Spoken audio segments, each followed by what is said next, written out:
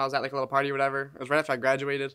Uh, I got really sick. I kept on throwing up, and I just remember seeing like everything went black, and I just saw like a white picket fence, and one side was like death, and one side was like life, and I was just really close to the fence, but I was on the life side still, and uh, I just remember feeling God just you know giving me a wake up call, I guess, and that wasn't fully enough to make me turn back to Him yet, but it was enough to make me think a little bit, you know. When I was a Christian in high school, you know what I'm saying?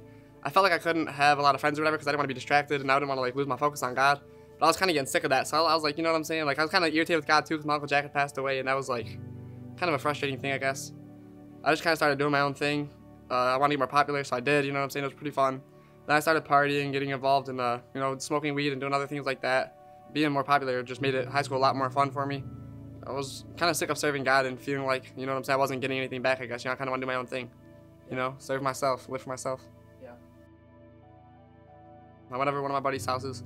And I knew what I was doing. I knew I was smoking weed, but I promised my mom already, maybe five or ten times even, that I wasn't gonna smoke weed. But I knew I was. I was lying right to her face, and um, you know I did it. So I got my mom's car, and she smelled it right away. Um, she knew. So when I came home, she went through one of my bags, and she found a little piece that I had, and um, she was like, "That's it. I'm, you know, I can't have this in my house. You're, you're gone. You gotta leave." And I was, just, I started crying. You know, it was really, uh, I was really scared. I remember thinking to myself that there was no way I was about to lose my home and my family over something so like so small. You know, something so stupid, honestly. Um, and I just begged her to like let me stay, and she was like, "No, I'm not putting up with that." And she was like, "If you're serious at all, then go and break that." So she gave me a hammer. I took it out the driveway, and I smashed it myself. Really stupid to do in the driveway, but I did. You know what I'm saying? Lesson learned. Um, a lot of glass there, but uh, no, she finally like was willing to kind of like listen to me after I did that because it showed her I was serious, you know. And I just talked to her, and I was like, just apologizing. You know, I didn't have any excuses to make because I knew it was stupid. I knew what I was doing. Um, but again, for some reason, she just showed me mercy. She gave me another chance and uh, that just meant a lot to me. So I went to uh, church the next morning, and I was like, okay, clearly my way is not working anymore. I'm getting kind of sick of it, you know. I keep on letting my mom down, letting Justin down, letting, you know, all the family that mattered to me, you know.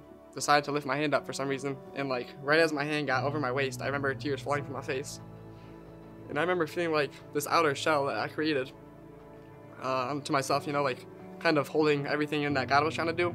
I was kind of holding it back, not really letting it happen, but this shell that was holding it back just broke. Like God finally shattered that, and I was able to uh, feel Him. He flooded in, into my heart so fast, and uh, that's how I knew I was just I was missing out on a lot. You know, all those times that I chose to turn away from Him. Chad Markle, man, Dad Chad's a good guy. Um, I actually remember right after service on Sunday, me and him were having a conversation, and uh, if you don't know anything about me, like I didn't really have a good dad. I don't have a relationship with like with him at all anymore. I don't speak to him or anything. And um, Dad Chad just told me that he was thinking about me that he was praying for me and that he was really glad that I came to church that Sunday. For some reason, he just, I don't know what made him say that, but he did. And it meant the world to me. And I just remember feeling like someone who's not even my own dad could love me that much simply because God loved him that much. And uh, I don't know, that just really helped me and encouraged me. So he prayed with me and, uh, you know, but, but that's not the only guy. A bunch of people, you know, have been there for me. You know, none of you guys have turned your back on me, even though I was doing, you know, dumb stuff all the time. But uh, that kind of stuff has really uplifted me, you know just conversations and community with you guys and conversations with God, you know, prayer. Um, not even with me so much because I wasn't really with him at the time, but you know, you guys prayed for me.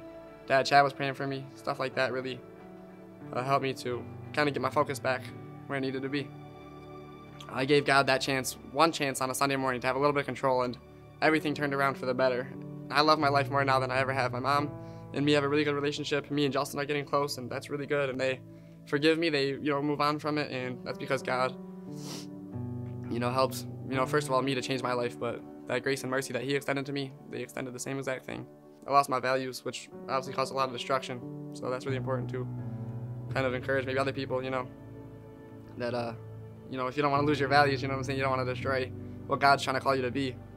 Maybe you should try giving him a chance, you know, letting him be the center of your story.